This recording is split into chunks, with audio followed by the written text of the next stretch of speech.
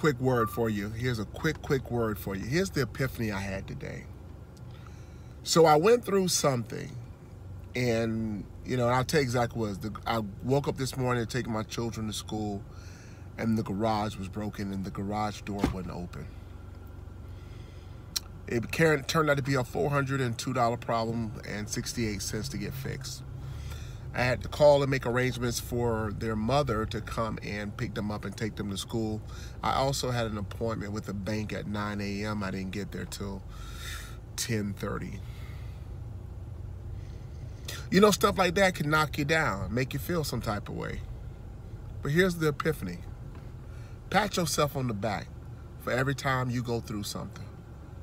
And if nobody else acknowledges that you're going through something and you're finding a way to go through it, you acknowledge it to yourself and tell yourself good job for handling the situation and doing the best that you could. Life coach said that. Welcome to South Florida.